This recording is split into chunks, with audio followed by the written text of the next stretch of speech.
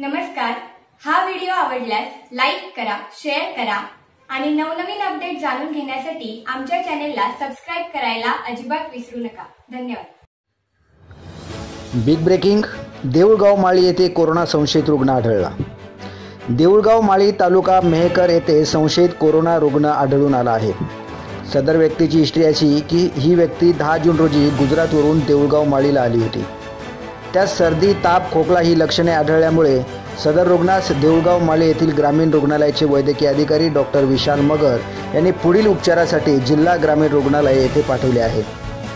मात्र देऊळगाव माळीवाशांनी ग्रामीण रुग्णालय देऊळगाव माळीतर्फे आवाहन करण्यात येत आहे की कुणीही घाबरू नका स्वतःची काळजी घ्या स्वतःला जपा असे वैद्यकीय अधिकारी डॉक्टर विशाल मगर यांनी आमचे प्रतिनिधी रवींद्र सुरोशे यांच्याशी बोलताना सांगितले.